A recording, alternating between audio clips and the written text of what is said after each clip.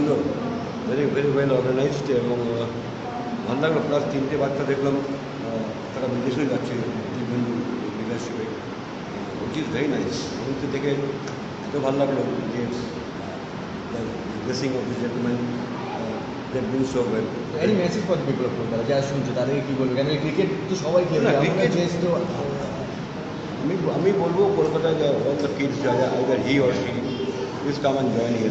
That's a Wonderful place. Thank you so much.